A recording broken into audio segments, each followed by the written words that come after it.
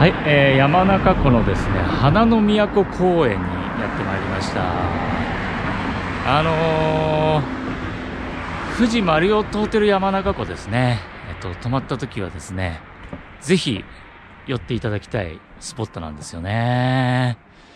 まあ今ですね11月の下旬なので花はですね今のところ見えないですね。ただご覧ください。富士山めちゃめちゃ綺麗ですよね。今日はあの天気がいいので富士山がめちゃめちゃ綺麗に見えます。でもう季節になるとですねあのこの右側左側お花でですねもう埋め尽くされるんですよね。もうインスタ映えストスポットになってますんでですね、えーとても楽しめると思います。この季節来たの初めてなんですけどまあ花はね全然植えられてないんですけどまあ秋っぽさがですね、楽しめるのも、まあ一つのですね、えこの季節の楽しみなのではないでしょうか。これ夜ライトアップするんですよね。LED があります。今日の夜からなんじゃないですかね。これ富士山の形してますよね。富士山の形のライトアップがされるようです。花の都公園。ね、結構楽しめるんですよ。今日はせっかくなんでですね、えー、中に入って、しっかりですね、楽しみたいと思います。ああ、いいですね、この小川のせせらぎ。これね、今日空気がめちゃめちゃ澄んでるんですよね。このひんやりしたですね、まあ空気がたまらないですね。いいですね。小川のせせらぎと富士山が見えます。では、えー花の都公園行ってみましょう。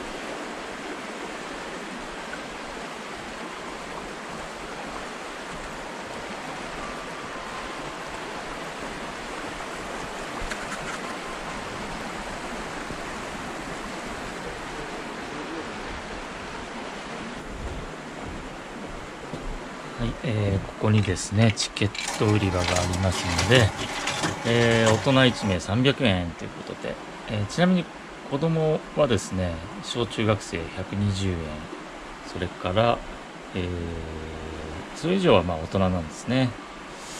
はい、1枚買います。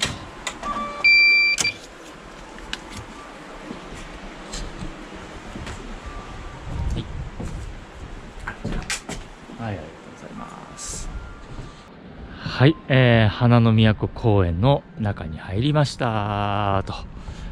えー、富士山。見ますよ、富士山。これなんか養生してますね。えー、多分これ季節になったらお花がバーッと咲くんでしょうね。はい。結構空いてますね。やっぱり、あの、お花が全然ね、見えないので、まあ入る人はまばらですよね。ってみましょう。ねこれ夜ライトアップするんですよね。いいですね。めちゃめちゃ空いています。というか、誰もいません。人が全然いないですね。ここはですね、フローラルドームっていうんですね。あのー中でお花の、あのーとかね、あのーいろんな、あの草木のですね、あの、販売なんかもしてるところですね。ソフトクリームありますよ。行ってみましょう。お土産屋さん。こちらはですね、富士うどん、富士そばがいただけるという感じですね。いや、誰もいないですよ。行ってみましょ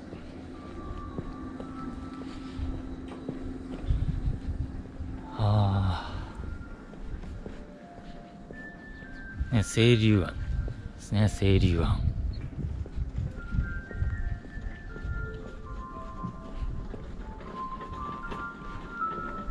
ここはですね、ビニールハウスですね。ここでも、あの、販売してるんじゃないですかね。行ってみましょう。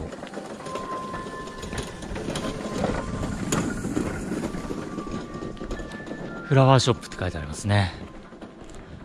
フラワーショップ。可愛いですね、このキリン。パンダ豚ライオンじゃないですかああ空いてていいですねもうちょっと行ってみましょ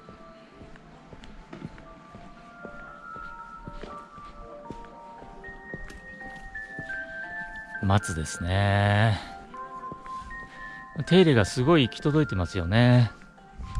お花がありますねお花が。可愛いですよね。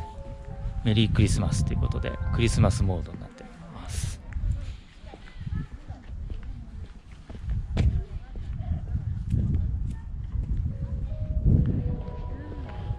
ここはですね公園ですね。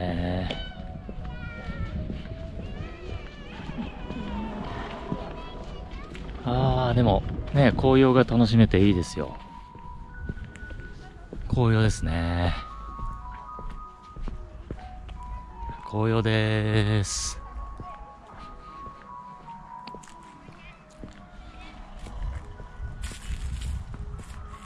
これ傘ですよね。これなんか開くんですかね。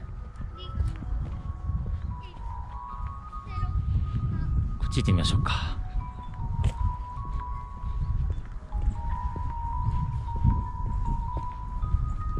溶岩溶岩樹形っていうんですかね。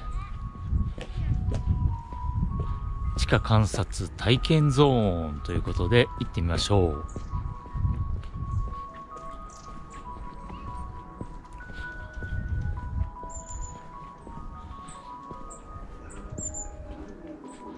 あすごい。すごいですね。これ溶岩が木にこうかかってですねこの樹形っていうのが残ってるんですよね。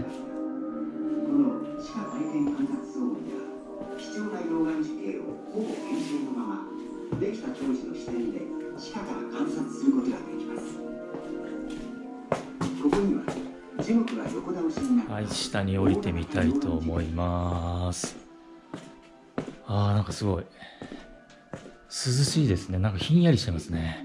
寒いですね。ああこんなになってるんだ。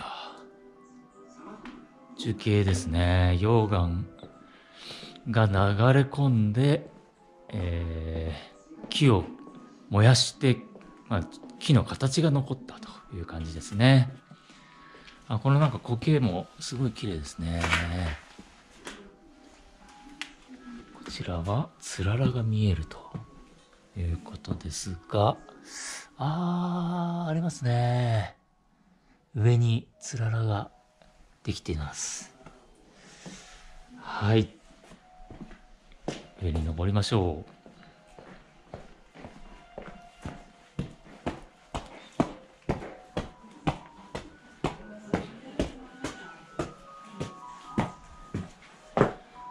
はい、外に出ました。えー、次行ってみましょう。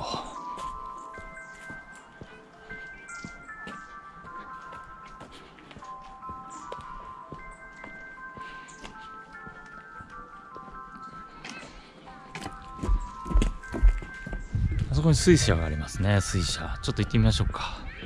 水が流れてないので回っていません。水車ですね。三連大水車って書いてありますね。これ水が流れてるときは、ぐるぐる回るんでしょうね。うん。今メンテナンスしてますね。あれ、あれですよね。あの、お子さんが水遊びできる器具ですね。ああ、紅葉ですよ。ああ、これなんだろう。LED ですね。夜来た方が多分いいんでしょうね。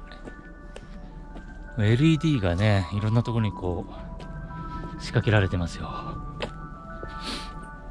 ってみましょう。誰もいないです。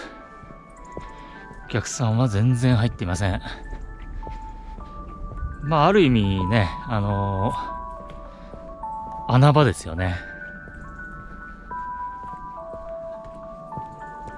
ちょっと行ってみましょう。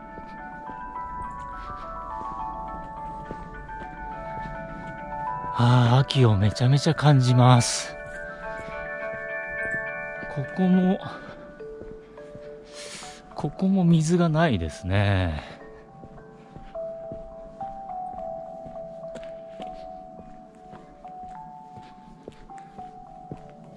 こんな感じですね。日中なのに LED ライトアップされてますね。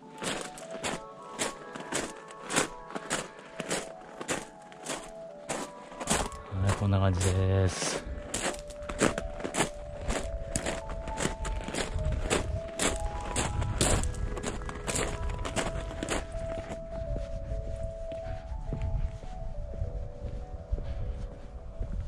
行ってみましょう。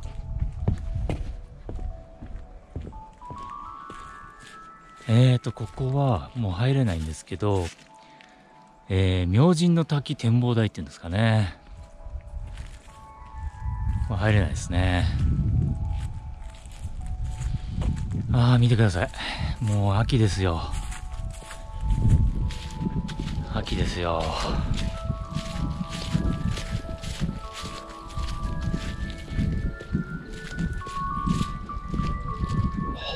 とんど誰もいない公園を今一人でお散歩してます。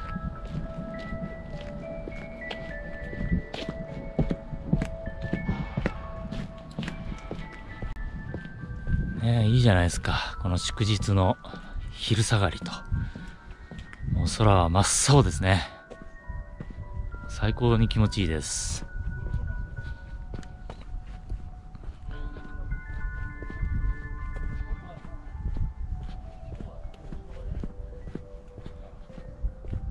すすぎですね。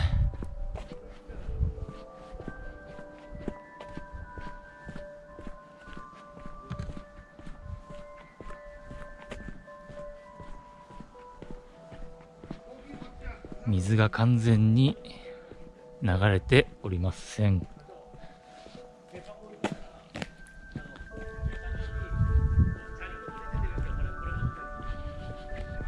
れ絶対夜来るべきなんでしょうね。ほらイルミ迷路ってありますよ。イルミ迷路。めちゃめちゃ楽しそうですよね。出口。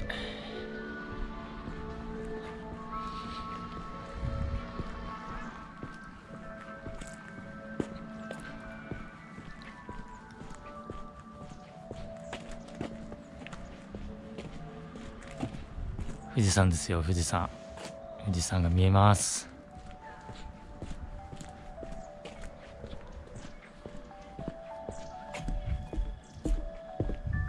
超穴場ですよね。人がほとんどいないです。こっち行ってみましょ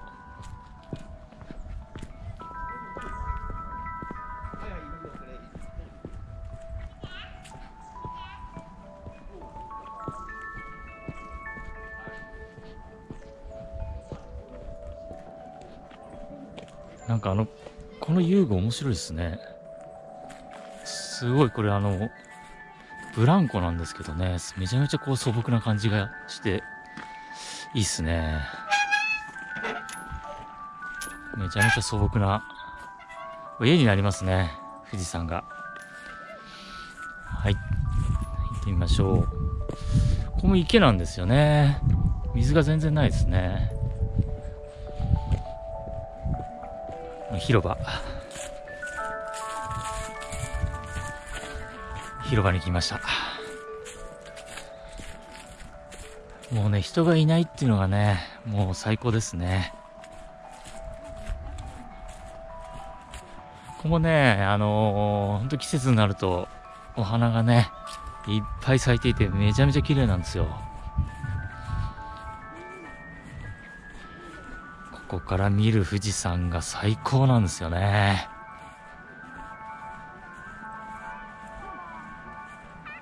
めちゃめちゃ気持ちいいです。誰もいないです。めちゃめちゃ気持ちいいです。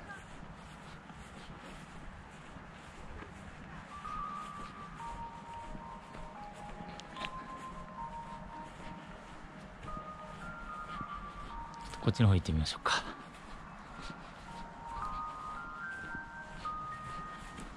ああつむじ風見てくださいつむじ風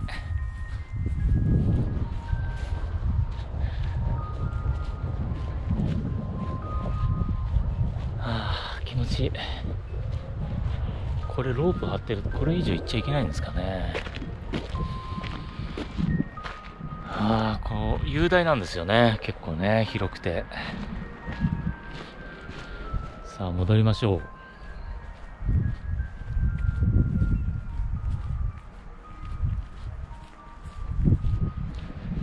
あのー、富士マリオット山中湖。このホテルに泊まった時はね、ぜひ、この公園に寄ることをお勧めしたいんですよね。まあ、あの、秋でもですね、お花が全然見えなくても、これだけ楽しめますので、おすすめのスポットです。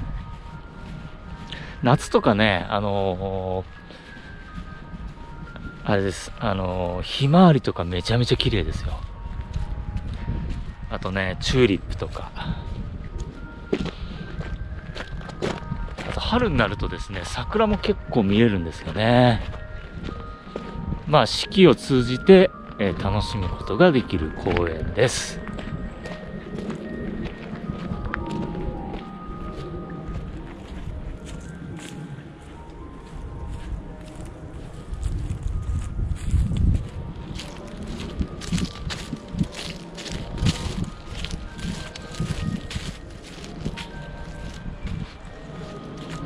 遊具ですね、あの、懐かしいんですよね。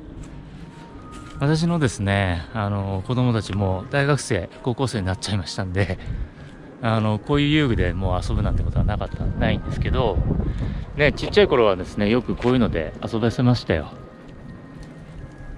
なんかね、大きくなっちゃうと、まあ寂しいものがありますよね。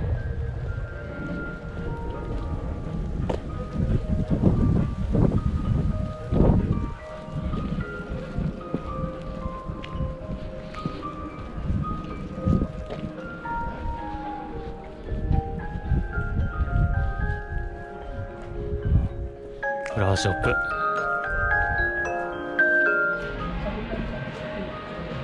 フラワーショップです。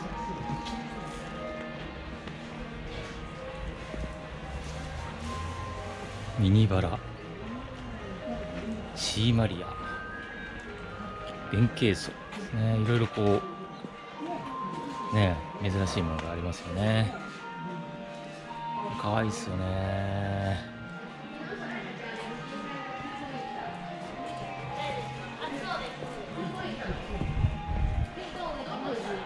シクラメン。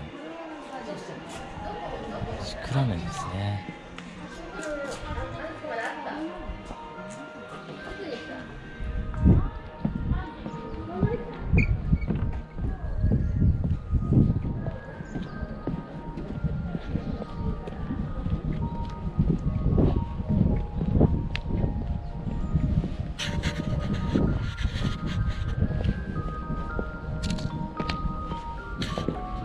ではフローラルドームに入ってみたいと思います。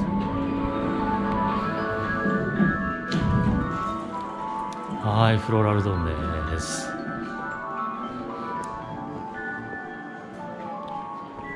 ああ綺麗ですね。綺麗ですね。お花です。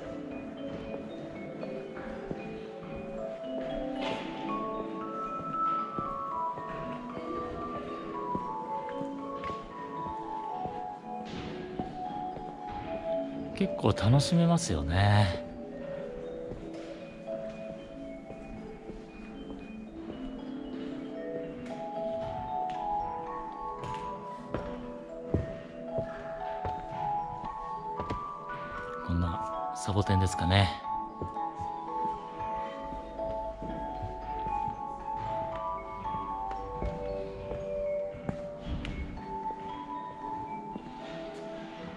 すごいですねこれ。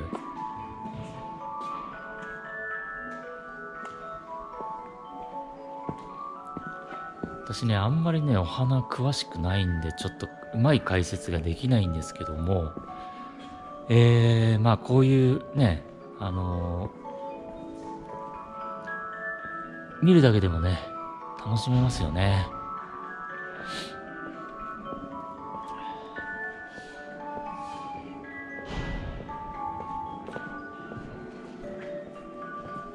入ってみましょうか。誰もいないですね。あーなんかあったかいですよ。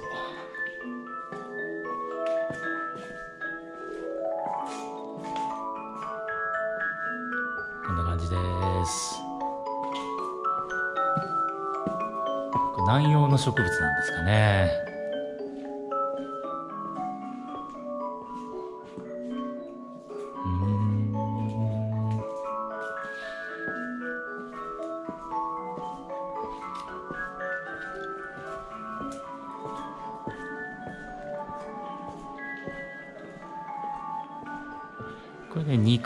とかはあれですよ。絵画展とかねやってるんですよね。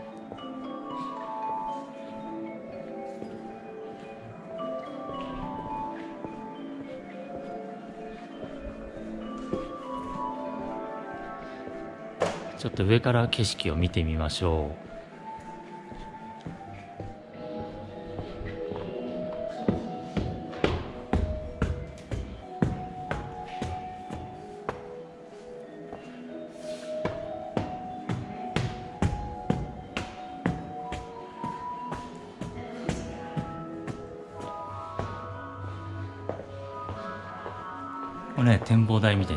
みたいになってるんですね。よいしょ。えー、めちゃめちゃ気持ちいいです。花の都公園は神々の山に囲まれたパワーフスポットです。ということですね、えー富士山そして裏手には明神山があると。ですね。三峠高雑山釈山釈舎山、えー、釈子山。獅子止山、えー、未正体山という山々にか、えー神々のですね、山に囲まれた公園ということですね。ああ、見晴らしいいですよ。気持ちいいです。あ人が入ってきてますね。富士山も見えます。